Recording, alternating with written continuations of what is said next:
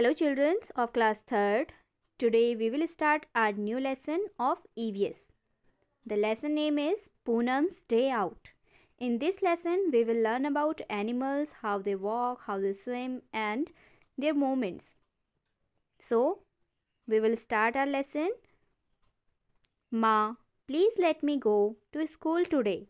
I have been at home for the past two days. I am getting bored, said Poonam. इस lesson में एक लड़की है पूनम, जो अपनी माँ से कह रही है, माँ, आज मुझे स्कूल जाने दो। मैं पिछले दो दिनों से अपने घर पर ही हूँ और मैं बहुत बोर हो रही हूँ। But you still have fever go outside and lie down on the cot replied माँ। उसकी माँ उसे कहती है, लेकिन बेटा, अभी तुम्हें भी बुखार है और तुम बाहर जाओ और चारपाई पर लेट जाओ। कॉट मतलब होता है चारपाई. Poonam fell asleep on the cot Poonam बाहर जाकर चारपाई पर लेट जाती है।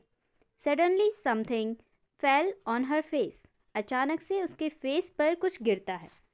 Poonam woke up at once and touched her cheek Poonam उठती है और अपने गाल को टच करती है। ओह no whose mischief is this अरे नहीं, ये किसकी शैतानी है? मिसचीफ मतलब होता है शैतानी। इज़ इट द क्रोज़ और द पिजन्स। ये कौवे की शैतानी है या फिर कबूतर की? It seems it's the crows मुझे लगता है कि ये एक कौवे की ही शैतानी होगी। Then Poonam looked up she saw many animals on the tree Poonam ऊपर देखती है और उसे पेड़ पर कई अलग अलग जानवर दिखाई देते हैं।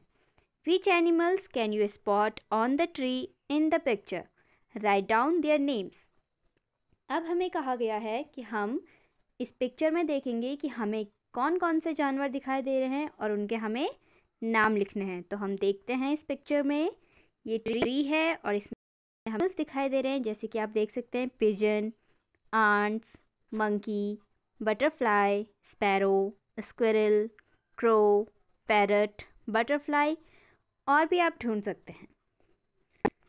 So, we will write their names in this place. Okay.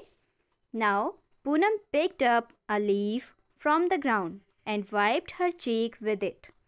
Poonam ने ग्राउंड से एक पत्ती उठाई और अपने गाल को उससे साफ़ करा but her cheek was still sticky लेकिन पत्ती से साफ़ करने के बाद भी उसे अपने गाल पर कुछ चिपचिपा सा फील हो रहा था she thought let me go and wash my face in the nearby pond उसने सोचा कि क्यों ना मैं पास के तालाब में जाऊँ और अपना मुँह धुल कर आ जाऊँ। Which animals did Poonam see at the pond look at the picture and write their names अब हमें कहा गया है कि जब वो पॉन्ड के पास गई तो उसे कौन कौन सी वहाँ पर एनिमल्स दिखाई दिए? आपको वो इस पिक्चर में ढूँढने हैं और लिखने हैं। आपको इस पिक्चर में दिख रहे होंगी buffalo turtle goat frog etcetera आप इन एनिमल्स को देखेंगे और यहाँ पर इनके नाम फिल कर देंगे। Then can you act like can you act like the animals seen at the pond आपको कहा गया है कि क्या आप जो जानवर यहाँ पर पॉन्ड में देख रहे हैं, उनकी तरह हरकतें कर सकते हैं? Which animal makes what kind of sounds and moments कौन से एनिमल किस तरह की साउंड और किस तरह के मोमेंट्स करते हैं, वो आपको ट्राई करने हैं, आप कर सकते हैं अपने घर पर। Different animals move in different ways to go from one place to another अलग अलग जानवर एक जगह से दूसरी जगह जाने के लिए अलग अलग तरीक़ों का इस्तेमाल करते हैं। Some animals walk some crawl some fly and some swim कुछ जानवर चल कर जाते हैं, कुछ रेंग कर कुछ उड़कर और कुछ तैर कर। For this some animals use their feet some use their wings ऐसा करने के लिए कुछ जानवर अपने पैरों का इस्तेमाल करते हैं और कुछ जानवर अपने पंखों का। Some animals even take the help of their tail और कुछ जानवर अपनी पूंछ का भी इस्तेमाल करते हैं एक दूसरी जगह से दूसरी जगह जाने के लिए। You must have seen many animals too आपने भी कई सारे जानवर देखे होंगे। राइट? विच ऑफ़ दैम आपको लिखना है कि उनमें से कौन क्या कर सकता है? जैसे कि कौन कैन फ्लाई कौन उड़ सकता है कैन क्रॉल कौन रेंग सकता है कैन वॉक कौन चल कर जा सकता है कैन हॉप कौन उछल कर जाता है।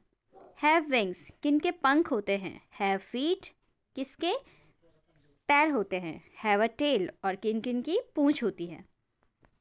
Animals live in different places some animals live in the trees some in water some live on land some live under the ground and some fly in the sky some animals even live in our houses जो animals हैं, वो अलग अलग जगहों पर रहते हैं। कुछ एनिमल्स पेड़ों पर रहते हैं तो कुछ पानी में, कुछ ज़मीन पर तो कुछ ज़मीन के नीचे, और कुछ हवा में उड़ते हैं। आसमान में उड़ते हैं some animals even live in our houses और आपको पता होगा कि कुछ एनिमल्स जो हैं, वो हमारे साथ हमारे घर में रहते हैं, जैसे कि पेट एनिमल्स और डोमेस्टिक एनिमल्स इन एनिमल्स को हम अपने फ़ायदे के लिए घर पर रखते हैं, जो डोमेस्टिक एनिमल्स होते हैं। जैसे कि दूध के लिए, अंडों के लिए, और ऐसे ही कई सारे जानवर हैं जिन्हें हम पालते हैं। इस लेसन में हमने क्या देखा? एनिमल्स के बारे में बर्ड्स होती हैं, पानी में कौन कौन से रहते हैं पानी और ज़मीन दोनों जगहों पर कौन से रहते हैं? जैसे कि फ्रॉग है, क्रोकोडाइल है, ये क्या है? पानी और ज़मीन दोनों जगह पर रहते हैं। ऐसे ही आपको अपने आसपास देखना है कौन से एनिमल्स किस तरह की साउंड करते हैं, किस तरह के मूवमेंट्स इनके होते हैं और किस तरह के इनके शेप, साइज़ हैं, ये सब आप देख सकते हैं। Hope you understand the lesson.